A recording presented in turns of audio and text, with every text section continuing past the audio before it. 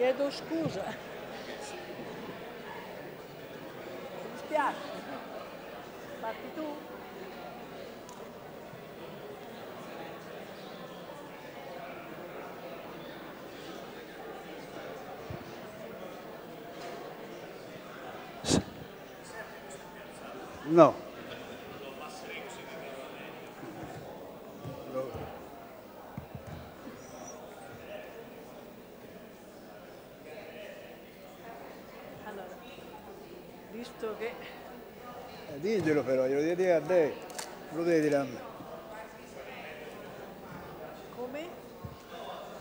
Parli spegnere sempre il microfono, se no rimbomba.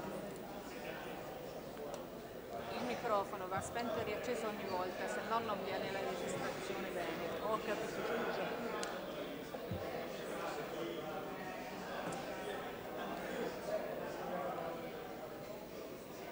Scusate.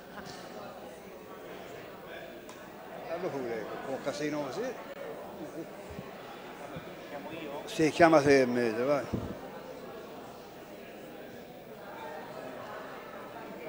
Fate buon viaggio. Allora eh, iniziamo l'ultimo incontro di questa giornata. Vi ricordo tra l'altro che alle ore 20 è in programma la proiezione del film di Walter Veltroni presso il Cinema Lux. Walter Veltroni interverrà all'apertura per salutare gli ospiti in sala.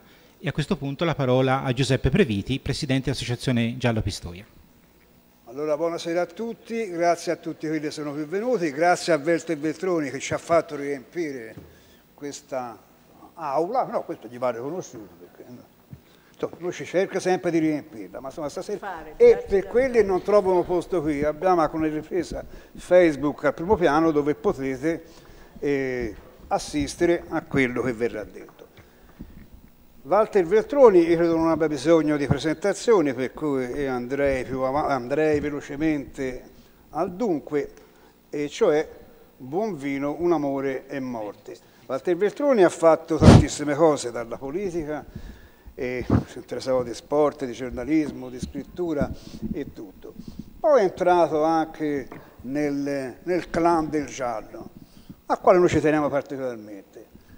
E siamo contenti tutto sommato anche non solo di averlo qui con noi, questo è indubbio, e- ma anche perché se dopo 13 festival siamo ancora in condizione di riempire una sala, mh, grazie all'ospite, ma insomma un po' di merito pigliamocelo anche noi, tutto sommato questo ci ci riempie diciamo, di, di- di speranze quando dicono no ma nessuno legge, nessuno segue.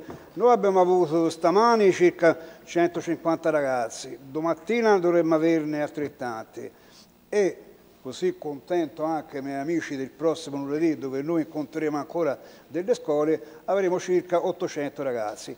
E questo credo eh, può essere una bella perché noi scriviamo tutti per oggi, però se i ragazzi vengono a sentirci, che ne pensi? Sono d'accordo. Parliamo di, di- di libri. Come nasce il commissario Bonvino e perché nasce il commissario Bonvino?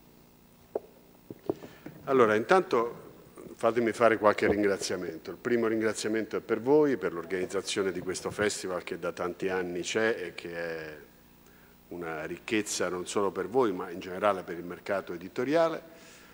Voglio ringraziare il prefetto e il questore che sono qui, sono molto felici che siano due donne a garantire eh, la convivenza civile in questa città. Saluto il sindaco e lo ringrazio veramente di essere presente e i tanti amici che sono qui, vedo Federica Fratoni, Agostino Fragai, Vannino Chiti, tante persone innocenti, scappini con i quali ho, ho passato un tempo non, non breve della mia vita. E, e poi ovviamente tutti voi. Allora, come nasce il commissario Bombino? In realtà nasce dalla casa editrice, non il commissario Bombino. Nasce la proposta di scrivere dei gialli. Io ho scritto molti romanzi in vita mia, ma non avevo mai scritto dei gialli.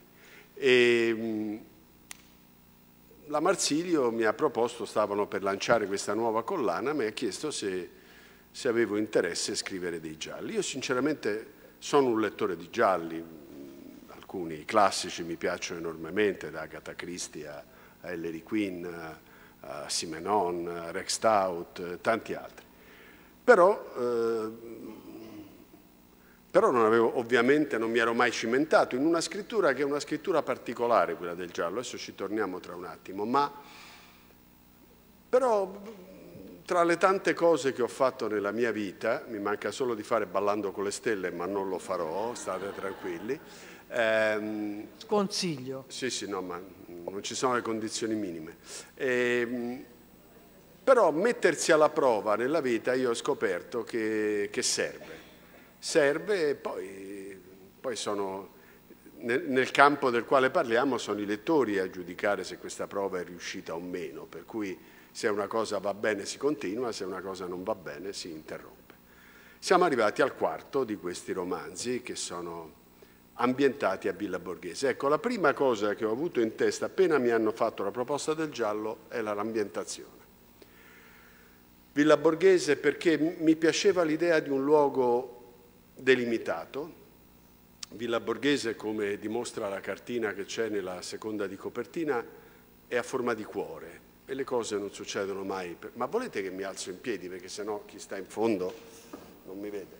E le cose non succedono mai per caso e quindi per me che mi sono occupato della mia città per diversi anni, quel luogo era un luogo particolare, anche prima che io me ne occupassi, perché da bambino andavo lì a giocare a pallone, a, eh, insomma, a passare come tutti i ragazzi fanno delle ore dopo la scuola.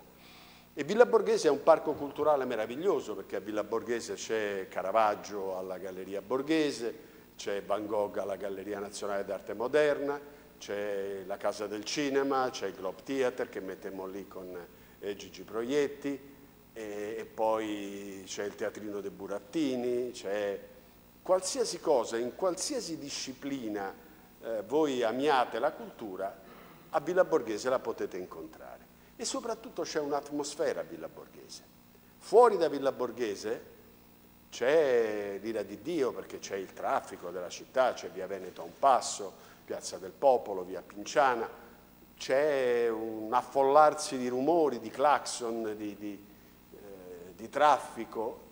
Si varca quel portone, quel portone, quel cancello, il cancello ce ne sono diversi, quello che io sono abituato a varcare è quello del Parco dei Daini, che si chiama così perché c'erano i Daini, eh, e improvvisamente cambia completamente l'atmosfera.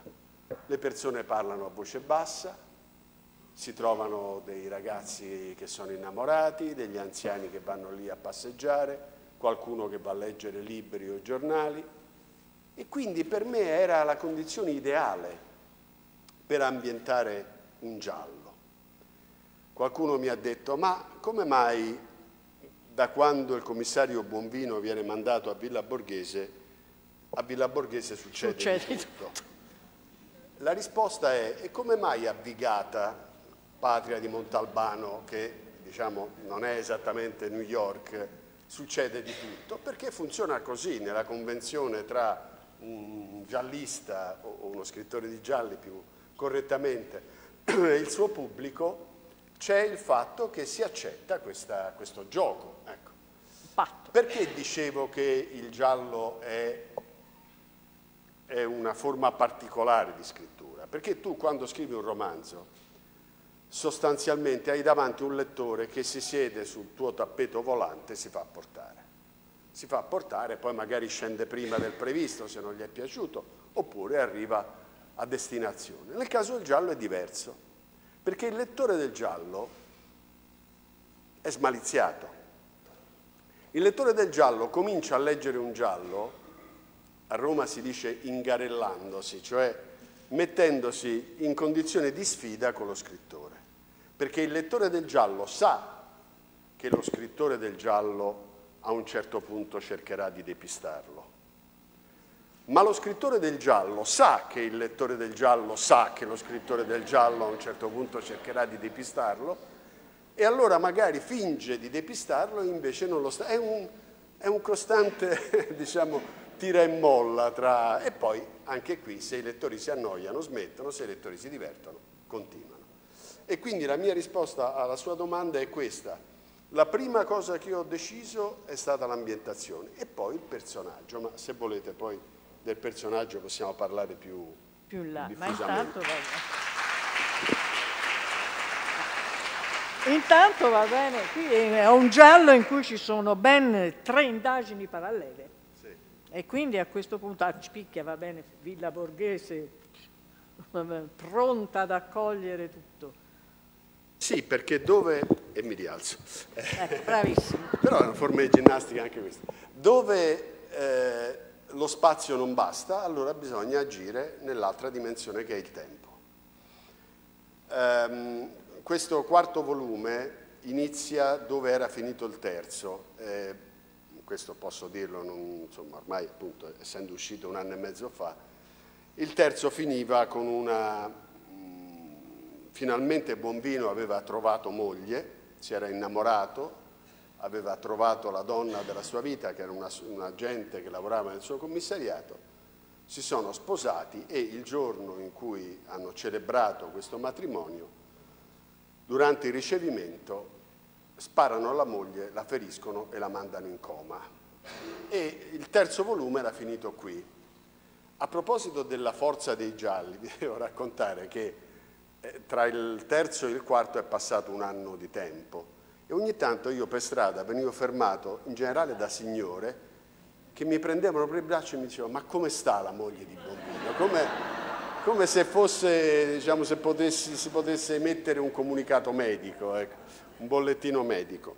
E, e, il quarto volume comincia da qui, cioè comincia da, da Bombino che è al capezzale di questa donna e deve Scopriremo durante il corso del, del, romanzo se questa donna sopravviverà o non sopravviverà, ma la prima indagine è cercare di capire perché le hanno sparato, se volevano colpire lei o volevano colpire lui.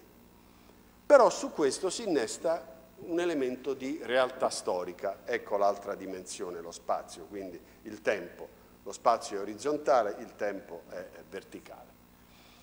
Eh, io non frequento molto i social, ehm, l'unica cosa che mi diverte sono i gruppi specializzati, perché se voi avete qualsiasi tipo di passione, anche se siete affascinati dagli opossum, troverete un gruppo che si occupa di opossum, perché, viva Dio, ciascuno ha le sue passioni. Io avevo frequentato questi gruppi nel corso del terzo volume, che si chiamava C'è un cadavere al bioparco, perché in una forma di perversione masochistica, avevo ambientato il terzo episodio al bioparco nella teca dei rettili. Io sono erpetofobico, ehm, in generale mi dà fastidio gli animali viscidi, però anche i cibi viscidi, però anche le persone viscide.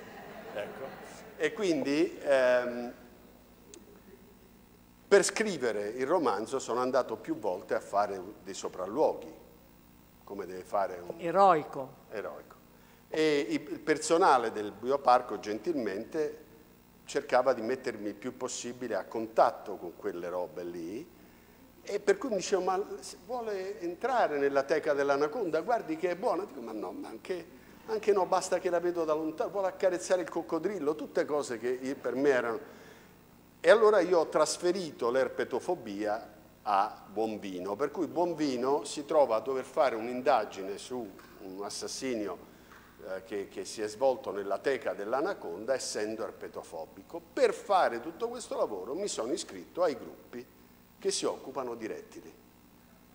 Ora ci sono cose migliori nella vita. Eroico. Eh, però era un, un, omaggio alla serietà. Ecco. E poi quando ho finito di scrivere mi sembrava brutto disiscrivere, mi sembrava proprio che uno fosse... Per cui sono rimasto iscritto e ancora adesso mi arrivano delle foto inquietanti di, di boa che mangiano de, degli elefanti, delle cose repellenti. Uno di questi gruppi ai quali sono iscritto invece è un gruppo molto bello, che è un gruppo di memorie di Roma della Seconda Guerra Mondiale.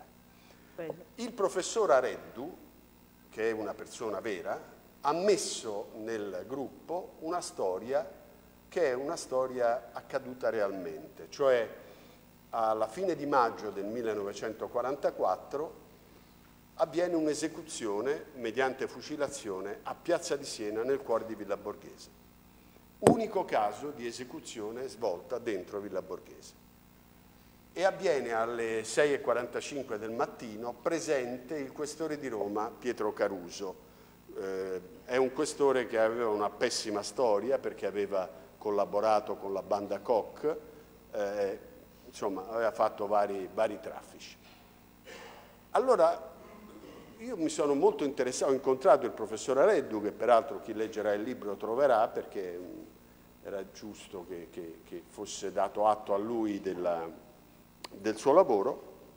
Lui mi ha riempito di carte che io ho studiato e quindi attraverso Buonvino e il professor Areddu abbiamo cercato di capire che cosa diavolo avesse fatto questo essere umano per essere fucilato a Villa Borghese alle 6 di mattina presente addirittura il questore di Roma e soprattutto a quattro giorni dalla liberazione della città, perché Roma viene liberata il 4 giugno del 1944 e questa esecuzione avviene il 31 maggio del 1944.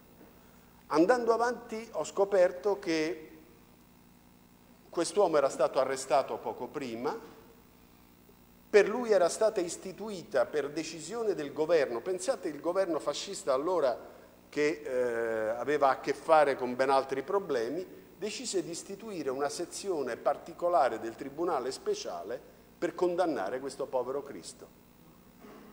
Eh, agli avvocati della difesa danno due ore la domenica per guardare le carte, il lunedì lo condannano a morte in quella settimana eseguono la sentenza. La sera prima lui si sposa a Regina Celi con sua moglie. Cosa diavolo aveva fatto questo? era il capo degli antifascisti, era... No, era uno che faceva borsa nera. Ma è sufficiente questo? È sufficiente immaginare che a quattro giorni dalla liberazione degli alleati uno che faceva borsa nera, attività nella quale eccelleva un, purtroppo una parte piuttosto consistente della popolazione italiana, dovesse essere ucciso in quel modo? Ecco un mistero nel mistero e quindi con il commissario Bonvino e il professor Areddu ci siamo infilati in questa storia, per cui diciamo, le tre inchieste agiscono su questa doppia dimensione, spazio e tempo. Commissario Bonvino nasce qualche anno fa e per la tribù che segue il giallo, commissari ce n'è anche troppi forse non abbiamo contato una volta, sempre in occasione di un festival, ce n'erano in Italia circa 180, io parlo commissario di carta, forse il signor Questore può essere preciso, se in Italia ce n'è, ce n'è meno forse di, di quelli. Ecco, è un commissario un po' quando nasce, nasce un po'...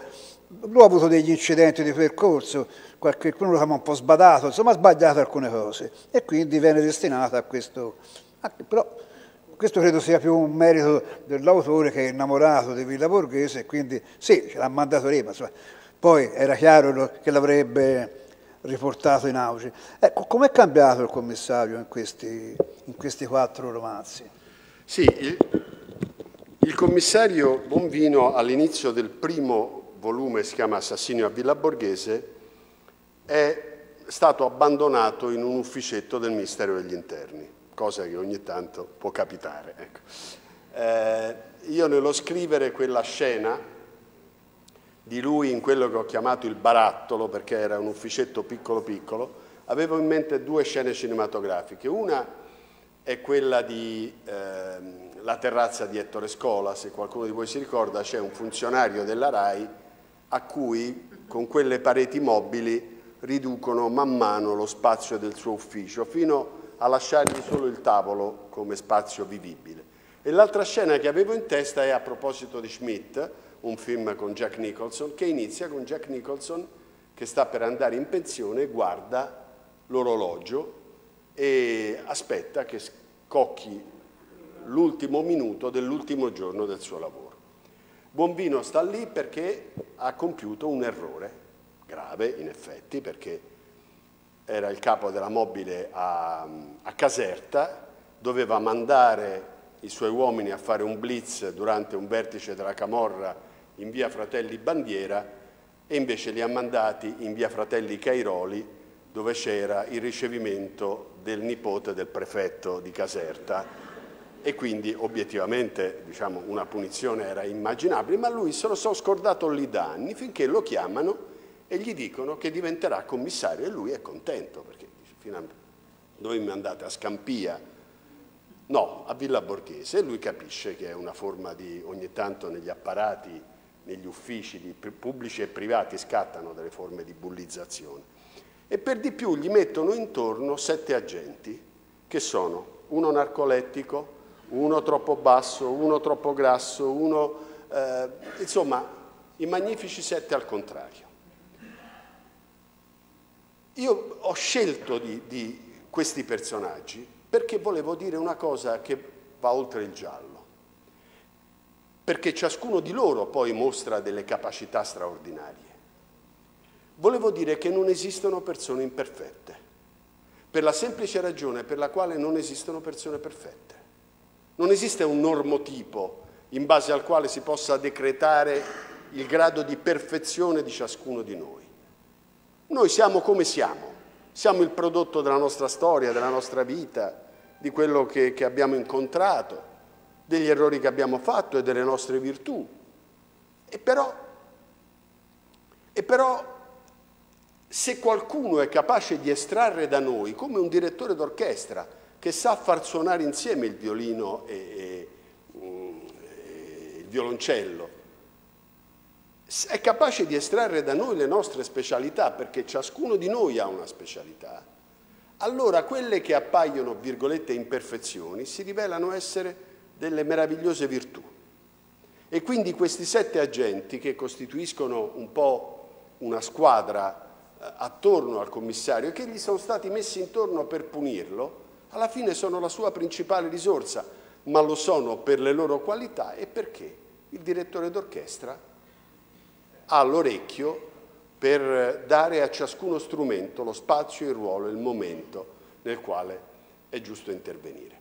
E, e quindi Buonvino viene mandato lì con l'idea che tanto, virgolette, a Villa Borghese non succede nulla e per di più appunto con il sovraccarico di queste presenze.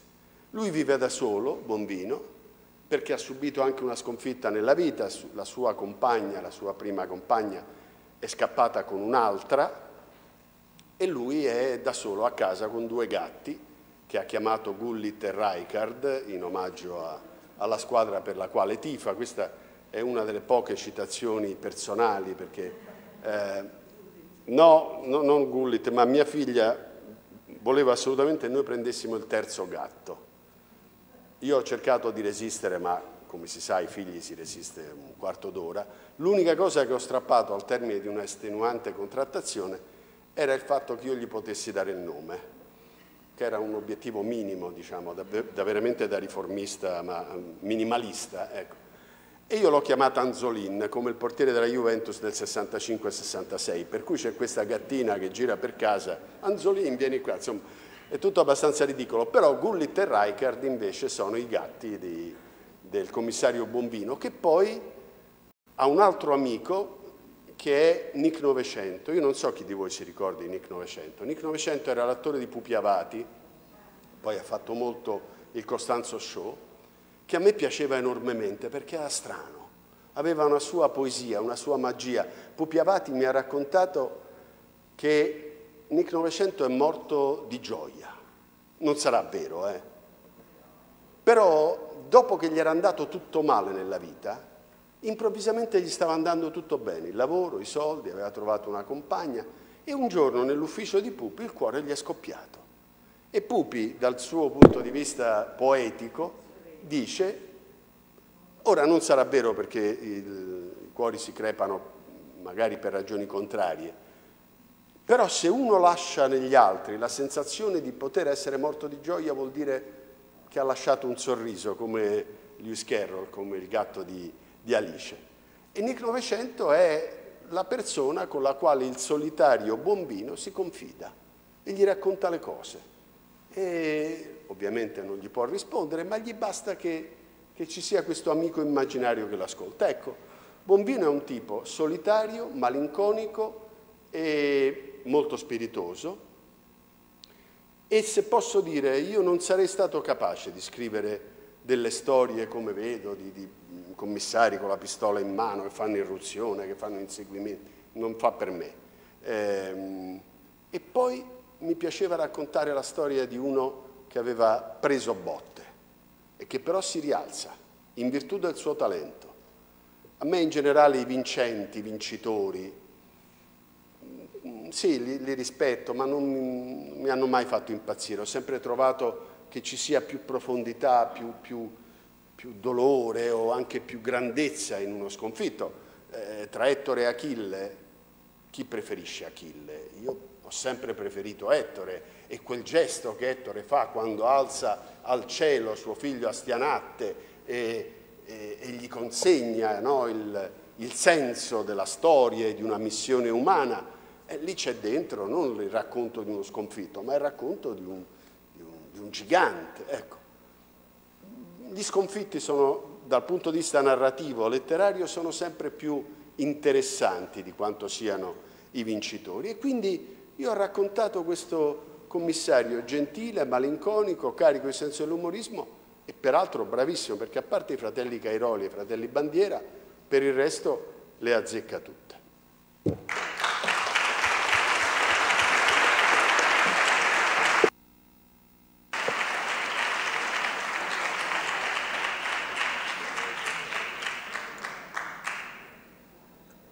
Io penso che molti libri e molti film nei, nei, nei libri, va bene. Cos'è? Anche c'è questo uh, piacere del viaggio, va bene, de, di Walter Vetroni o, o, attribuita al personaggio?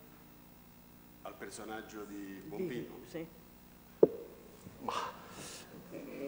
La domanda a Carogna. Perché... No, che Carogna, assolutamente, giustissima. Sto leggendo un libro di uno dei miei scrittori preferiti, forse il mio scrittore contemporaneo preferito, che è Ian McEwan. Il suo ultimo libro si chiama Lezioni ed è un capolavoro come tutti gli altri libri di McEwan. Ed è pieno di citazioni. È pieno di citazioni per il semplice motivo che non fare le citazioni è una forma di autocensura. Perché le citazioni di libri, di film, di canzoni sono semplicemente il racconto di quello che noi abbiamo incontrato e di quello che noi siamo, perché noi siamo quello che siamo anche per i libri che abbiamo letto, per quelli che abbiamo amato, per quelli che abbiamo respinto. Per cui eh, sentirei come una colpa il non eh, accompagnare la descrizione di un personaggio attraverso anche la descrizione de, delle sue passioni. Eh, una persona a cui non piaccia Fellini è una persona che io guardo con un certo sospetto, ecco per esempio. Molto giustificato. Ecco. E, così è per tutto il resto, a chi non piace Thomas Mann, a chi non piace, non so, eh, appunto Omero o Don Chisciotto, eh, sono cose che qualificano la vita e il carattere di ciascuno di noi, per cui nel racconto di, un, di una persona, di un personaggio in questo caso, che poi il confine tra persona e personaggio, come dimostra la domanda sullo stato di salute della moglie di, di Bombino, testimonia, eh, è molto labile, nel racconto di com'è il personaggio, secondo me è un elemento di arricchimento. A me da lettore piace moltissimo sapere che quel personaggio amava il jazz invece della musica eh, trap. Me lo racconta, me lo definisce, gli dà una sfumatura di carattere, per cui semplicemente... E poi gli ho dato dei gusti che non sono necessariamente i miei, non sarebbe stata una forma di, così, di imperialismo. E, eh, Invece Bombino ha dei suoi gusti, che poi naturalmente nascono dalla penna di chi li scrive, però anche dal riconoscimento di un'alterità. Cioè il personaggio è il personaggio e tu sei un'altra cosa.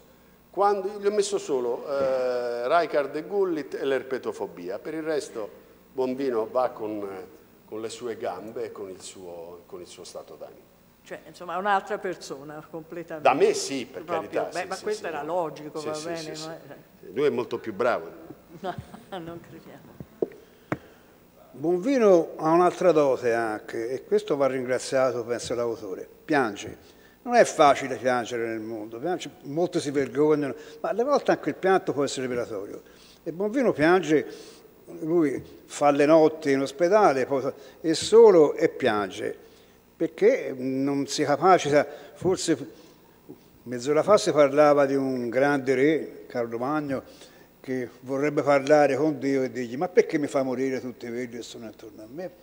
E, e Bonvino piange. Quanto è cresciuto Bonvino? Perché letto questo romanzo ecco, ha assunto un, una linea morale, una linea, ma no d'affettazione e cose, ha assunto qualcosa, credo che anche i suoi uomini poi, che sono meno sciocchi o meno sbadati, come, come c'era scritto in un commento, commissario sbadato, insomma, e sentono la forza di quest'uomo, poi tutto sommato.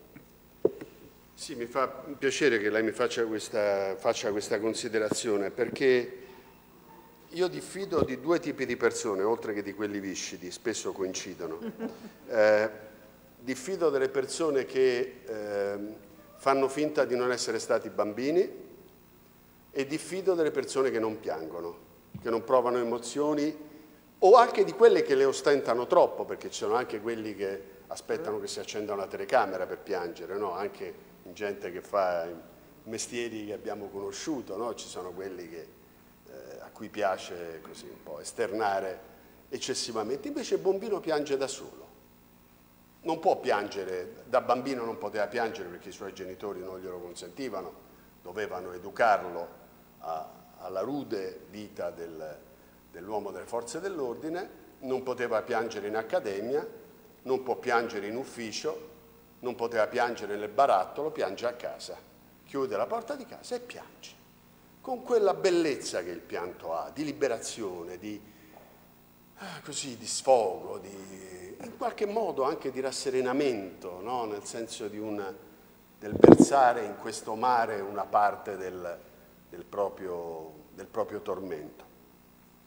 E, e, poi sì, Bombino nel corso delle, delle varie storie ha preso una conformazione, un tono, un carattere che è un pochino più definito, un pochino più a fuoco di quanto fosse quando ho cominciato e lo ha preso in rapporto anche con questi suoi agenti, ai quali lui impone una sola cosa, un corretto uso delle parole. Bombino non accetta che nel suo commissariato le parole vengano usate come vengono usate ormai. No? Eh, noi viviamo in un tempo di vivisezione del, del buon parlare, di, di, di ludibrio, nel, nell'esercizio della lingua italiana, per cui lui a un certo punto ha fisso nel commissariato un cartello che lui chiama la colonna infame di manzoniana memoria, in cui ha messo tutte le parole che i suoi agenti non devono, è l'unica forma di autoritarismo che ha, perché gli fa male, gli dà dolore fisico sentire certe parole. E ha messo un punteggio per cui chi usa quelle parole perde la quantità di punti che sta scritta nella colonna infame. Chi dice, non so, tutta la vita perde 12 punti. Chi dice tanta roba perde 13 punti. Chi dice, e, e chi fa il mestiere della politica sa che in Parlamento sarebbero tutti sotto zero, chi dice metterci la faccia perde 4 punti. Ehm, e poi, non so, emozionale, esperienziale, tensivo, percorso, narrazione, narrazione. È diventata una dannazione perché chiunque usa la narrazione anche per dire vorrei la narrazione di un piatto di spaghetti, ormai viene usato in modo aberrante, no?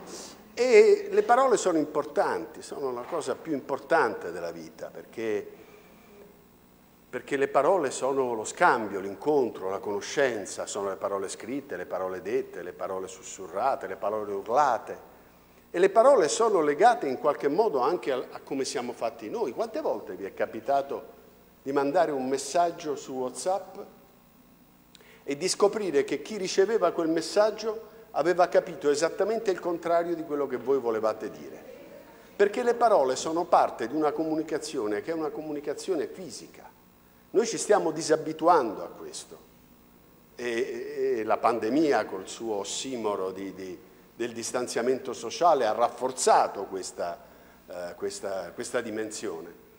Noi ci stiamo disabituando alla bellezza dell'incontro, dello sguardo, del tono di voce. Facciamo tutto attraverso questa concitata e bulimica dimensione della comunicazione eh, che ha un elemento di nevrosi. Quanta gente manda un messaggio e se dopo due minuti non hai risposto pensa c'è la spunta, la spunta. La spunta. Quindi l'ha letto ma non mi ha risposto. Cosa vuol dire che non mi vuole più bene? Ma questo vale per la fornitura di, del ferramenta piuttosto che del... È una cosa da, da, da pazzi. Io ogni tanto ai ragazzi racconto come comunicavamo noi. Non voglio dire che fosse meglio, era peggio. Io avevo per esempio il duplex a casa. Molti di voi non ricorderanno cos'era, ma era un incubo. Io avevo una vicina di casa con la quale dividevo la linea telefonica, che era una delle persone più verbose che nella storia dell'umanità siano mai apparse. Parlava per ore e io mi ricordo che mi sono fratturato più volte le nocche delle... per bussare al muro e chiedere a questa signora di farmi fare una telefonata. Potevi avere un infarto e dover chiamare l'ambulanza, a lei non gliene fregava assolutamente nulla. Oppure la prolunga, che a un certo punto ci sembrò un gigantesco strumento di liberazione dal controllo delle telefonate. Prima il telefono stava in corridoio, per cui se ti chiamava una ragazza, ecco, con la prolunga ti potevi portare il telefono in stanza. Il lucchetto al telefono, ve lo ricordate? Ecco. Tutte queste cose, provate a dire oggi a un ragazzo che c'è il lucchetto al telefono per prendere per matti. Però da questi estremi, che sinceramente dei quali non ho nostalgia, a questa concitazione, a questa fretta spaventosa, a questa sorta di nevrosi comunicativa, beh, insomma, c'è un confine. E, e, questo confine va riempito dalla bellezza delle parole, che vanno usate eh, con discernimento. Sono importanti le parole che si scelgono, che si sceglie di dire, ma sono altrettanto importanti le parole che si sceglie di non dire. Per esempio metterci la faccia. Ecco.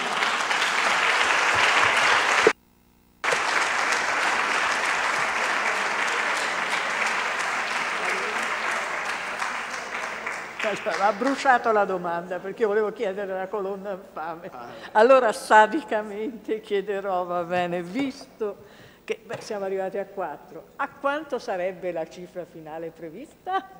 Ma questo posso rispondere da seduto perché è breve. Eh, contrattualmente per ora 6, però siccome questo quarto sta andando Alla particolarmente grande. bene, c'è un rischio ecco, di, di, prolungare. Posso dire questo, che di solito, quest...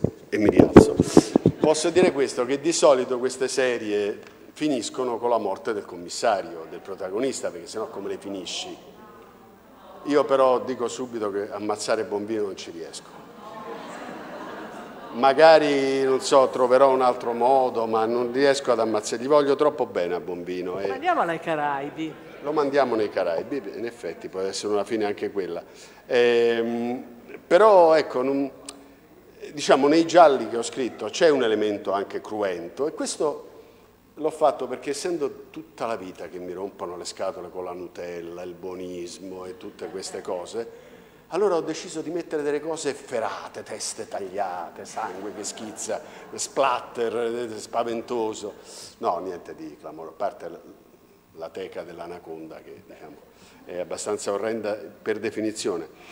Però, ehm, però in fondo sono racconti che hanno un tono di voce che non consentirebbe di, di immaginare la morte del, del, commissario. Quindi quando finirà dovrò trovare una, una, conclusione dignitosa, adesso però aspettiamo di pensarci perché Bombino adesso chi leggerà questo giallo alla fine c'è un colpo di scena analogo a quello che c'era nel terzo volume che mi porterà a trovare gente che mi dirà ma com'è finita? Allora, ehm, però questo è molto bello anche, eh, devo dire è molto bello, perché hai la sensazione che un personaggio che ti sei inventato sia entrato nella vita delle persone, tanto da farli preoccupare di, di come sta.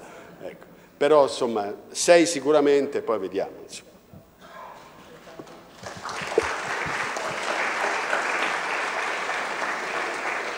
Walter Veltroni scrive molte cose, scrive articoli seri, articoli politici, scrive di sport, scrive soggetti per il cinema. Ecco, com'è stata la, la, scrittura di un giallo? Che c'è di differente? Se c'è qualcosa di differente. È più difficile. Obiettivamente di tutte le cose che ho scritto, per, il, per la struttura del giallo, la scrittura è più complicata di un romanzo, perché, perché nel giallo tutto deve tornare non puoi avere cose che, che siano contraddittorie, perché il lettore, essendo un lettore smaliziato, se ne accorge se tu sbagli un tempo, se sbagli una, una consecuzio diciamo, di, di, azione, eh, rischi di non essere credibile. Per cui devo dire io ci metto di più a scrivere dei libri gialli di quanto ci metta eh, a scrivere altre cose, eh, però anche perché faccio sempre un lungo lavoro di ricerca che è la parte più bella, se devo dire, di chi scrive non solo un giallo, qualsiasi libro. Io ho scritto recentemente un, un romanzo che si chiama La scelta, che è ambientato a Roma nella settimana tra il bombardamento di San Lorenzo e la caduta di Mussolini e che racconta la storia di una famiglia romana, di, di, di povera gente, in cui c'è un, un padre che è fascista, lavora come usciere presso la sede dell'agenzia Stefani, che era l'agenzia che c'era prima dell'ANSA, un figlio antifascista, antifascista più per, per ribellione nei confronti di, della dimensione un po' da collegio che aveva la vita durante il regime, una ragazza di 14 anni che si chiama Margherita, che sta cambiando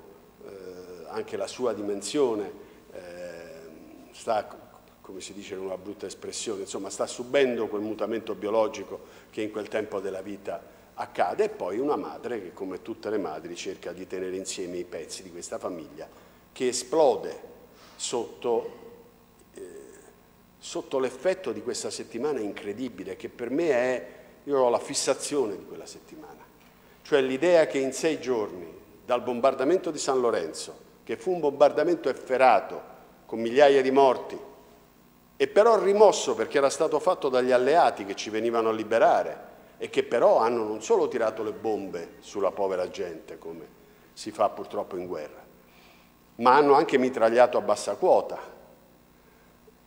E la caduta di Mussolini ci sono sei giorni. Un regime che è durato per più di vent'anni crolla nel giro di sei giorni. E io ho raccontato una cosa vera che mi ha raccontato Giordano Bruno Guerri, persona che stimo, e cioè che dai tombini di Roma, quella notte, la notte del 25 luglio, quando cadde il fascismo, rigurgitavano i distintivi del Partito Nazionale che venivano gettati per cancellare le orme. E purtroppo questo vizio trasformistico è qualcosa che nella storia italiana ci siamo portati appresso per per un lungo periodo e che, non è, e che non è finito in tutte le direzioni. E quando ho scritto questo libro ho fatto un gigantesco lavoro di documentazione, in particolare su una figura, che è anche qui l'unica figura vera, storica, che è la figura di Mallio Morgagni. Mallio Morgagni era il presidente dell'agenzia Stefani, era un fascista convinto ed è l'unica persona che si è tolto la vita la sera del 25 luglio. Lui andò a casa, appreso della caduta di Mussolini, e si sparò lasciando un messaggio con scritto Duce, io muoio col tuo nome sulle labbra, ma la stessa persona lasciò tutti i suoi averi non alla sua famiglia, ma ai dipendenti dell'agenzia. Vedete com'è complessa la vita di ciascuno. E io racconto questo usciere che, che, che ha creduto nel fascismo, ha creduto in buona fede nel fascismo, lo racconto non come un criminale, lo racconto come uno dei tanti esseri umani che in quel tempo della storia italiana hanno creduto in quelle suggestioni e poi si sono resi conto di che cosa sotto i bombardamenti tutto quello aveva prodotto. E la cosa incredibile che mi è capitata, e poi finisco, è che sono andato in quei giorni, mentre stavo scrivendo, a comprare dei libri in un negozio di libri usati che frequento abitualmente. A un certo punto vedo nella sezione del, dei libri sul fascismo che io eh, saccheggio, a un certo punto vedo un libro di Traverso. Non c'era scritto che libro fosse. Lo prendo ed era un libro dedicato a un anniversario dell'agenzia Stefani e c'era una dedica a penna di Maglio Morgagni. Più segno, c'era una possibilità su un miliardo che questo avvenisse, allora l'ho preso e, e lo tengo perché penso che in qualche modo il mio lavoro non abbia restituito nulla a nessuno, perché, però abbia cercato di sottrarre alla, alla rissosità di, di, tutto quello che succede in questo paese, in cui siamo sempre guelfi e ghibellini, la complessità delle cose. A me quando ho visto questa cosa dell'eredità, che lui aveva lasciato ai suoi dipendenti, beh, insomma, è il racconto di come ciascuno sia più di quanto sembriamo e forse più anche delle scelte che, che facciamo. Quindi, ecco, per rispondere alla sua domanda, il lavoro di preparazione, di scrittura, anche di un libro giallo, vorrei dire quasi tanto più di un libro giallo per la complessità che dicevo prima, è non meno bello del lavoro di scrittura. Il lavoro di scrittore io quando sento ogni tanto alle presentazioni gentilmente chi ti introduce dice parliamo dell'ultima fatica, io lo fermo sempre per dire ma quale fatica? La fatica è guidare un camion eh, di notte, è salire su, su un cantiere di, eh, di lavori edilizi, quelle sono fatiche. Certo, quando ti trovi con la pagina bianca, la prima pagina, e sai che dovrai battere su quei tasti 400-500 mila volte, perché di questo si tratta, un po' di, così, di ansia ti viene, però sinceramente è talmente bello farlo, è talmente gratificante, è talmente che tutto è meno che una fatica, è semplicemente una gioia e come tale deve essere vissuta.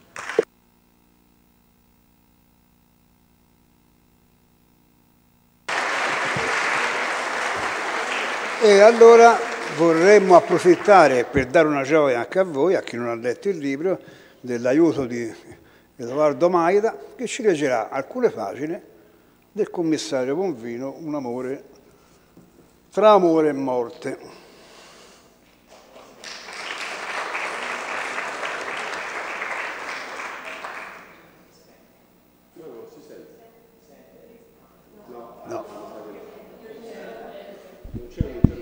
Sì. Ora ah. sì. Scusate.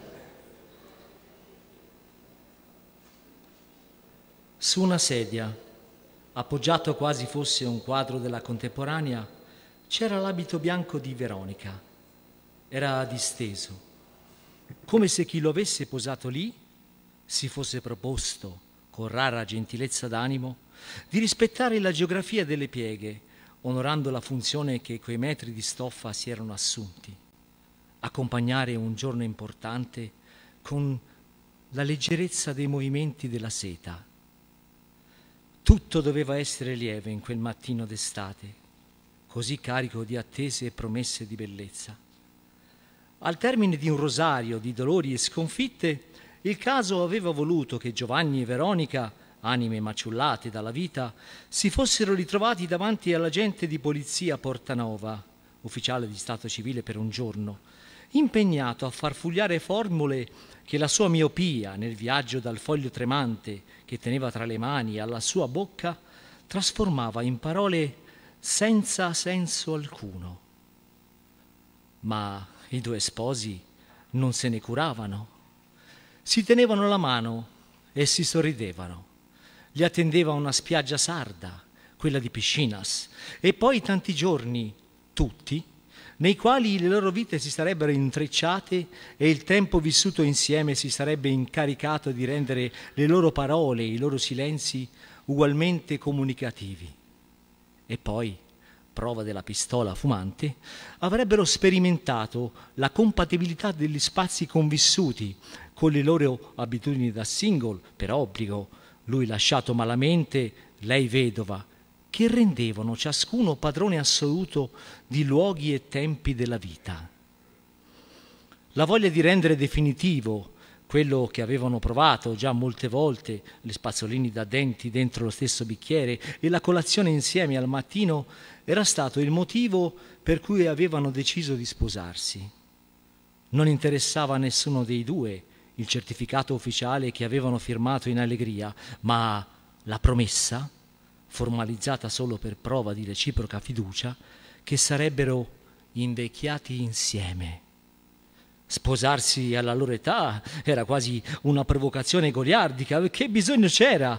Eppure l'idea li divertiva e quel giorno si sentivano ragazzi, con l'ebbrezza di vivere finalmente qualcosa che stava per cominciare. Poi erano arrivati quei colpi, come dei mortaretti, ma meno gioiosi, più secchi, più cupi. Un suono che Buonvino conosceva bene, ma che lì, in quel momento, in quel clima festoso, era del tutto fuori contesto, insopportabilmente volgare. Quando si era voltato verso Veronica, l'aveva vista a terra. Che diavolo ci faceva lì? E poi quelle macchie piccole, rosse. La luce dell'alba sembrava rischiararle, rendendoli quasi allegre. Erano nelle pieghe della seta, come i puntini della varicella o la fantasia bizzarra di uno stilista alla moda. Solo una era più grande, pacchiana e offensiva.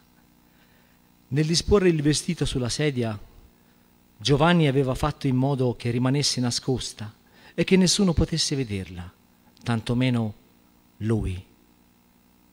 Quella macchia era uno squarcio nel corpo di Veronica e nella loro vita.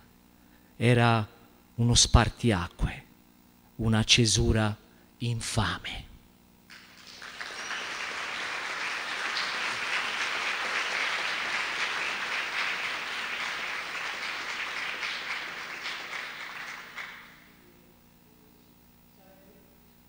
Un gesto carino lasciare anche al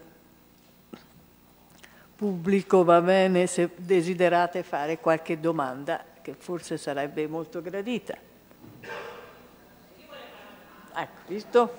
Eh, eh, non esiste un...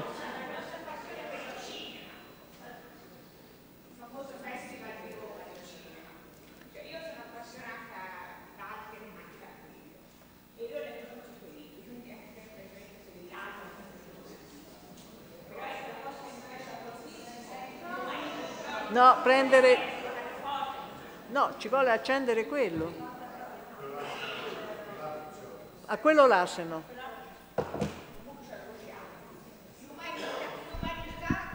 Che tu metti nei tuoi libri. Prima ti ho parlato della diversità e della ricchezza della diversità. Cioè questi sono valori molto importanti.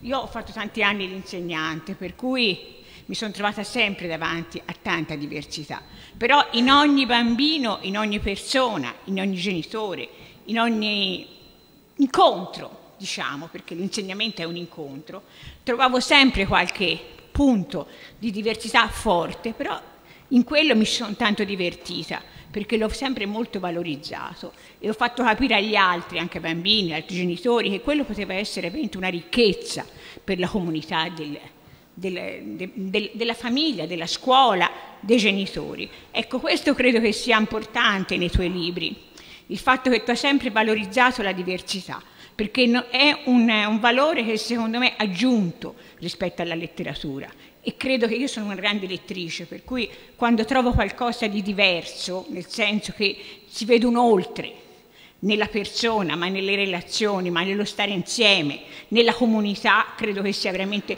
un grosso impatto la lettura importante per una crescita personale. Grazie. Condivido l'applauso. Eh, solo per dire questo, che la diversità è la libertà. La libertà è il riconoscimento del fatto che ciascuno di noi può essere come ritiene giusto essere con le nostre convinzioni religiose, politiche, culturali, sessuali. Ciascuno di noi ha il diritto di vivere la sua vita e di essere rispettato per ciò che è. Cosa fanno i regimi, di destra o di sinistra? Perché i regimi autoritari sono, marciano allo stesso modo.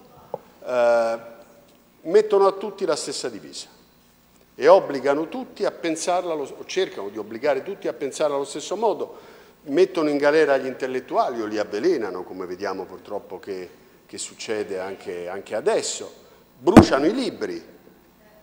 Ecco, eh, il riconoscimento della diversità è l'anima della libertà, come il dubbio che è parte di questo triangolo di virtù, libertà, diversità e dubbio. Eh, se, si, diciamo, se si altera questo equilibrio, se uno di questi tre lati si restringe, eh, si vive male. Poi magari in certi momenti della storia si può pensare di affidarsi all'uomo della provvidenza, ma di solito gli uomini della provvidenza poi fanno dei disastri e quasi sempre fanno delle guerre. Prego, c'era lei? Sì.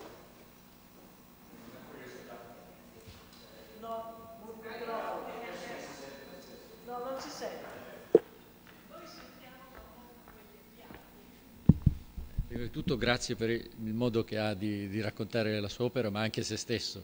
Cioè, in, in mezz'ora ci ha, ci ha, dato un caleidoscopio di, di se stesso.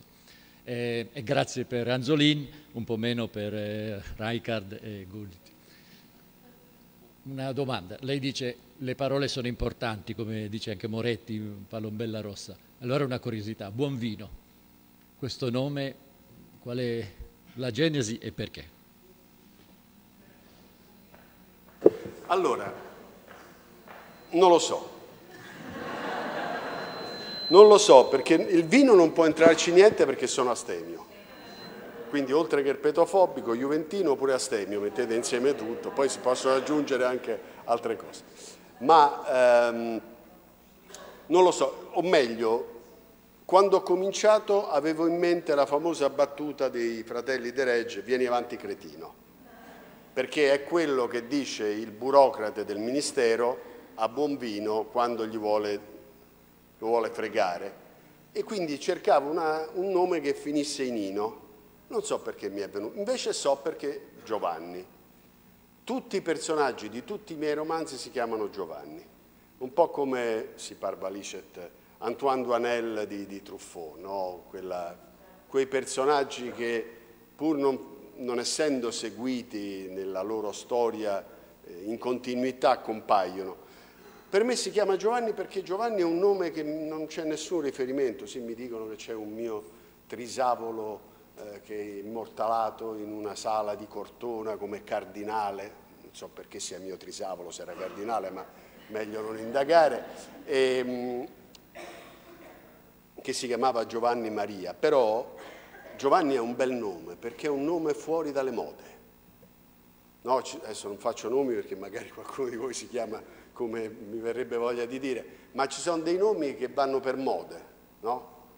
Eh, per, per, per cinque anni tutti i bambini che nascono vengono chiamati in un certo modo. Lasciamo stare Diego Armando, Francesco Totti, tutte queste cose che sono più riconosciute. No, sono proprio delle mode legate ai nomi. Invece Giovanni è un nome solido che ha radici evidentemente molto antiche, che è un, è un nome molto, virgolette, diventato molto italiano, poi naturalmente è un nome mondiale, però è un nome solido, è il nome di una persona che può aver attraversato eh, come nome generazioni diverse. E quindi io l'ho usato sempre per questo e qualsiasi personaggio, da quello dei gialli a quelli di romanzi, in qualche modo si chiama, si chiama Giovanni. Su Bombino sinceramente non, a parte questa assonanza diciamo, di desinenza finale che, che, mi ha fatto scattare questo meccanismo, non, non, non saprei dire perché buon e non eh, malvino, ecco questo non lo so. Rimango in piedi perché se no... Eh. Grazie, grazie a voi.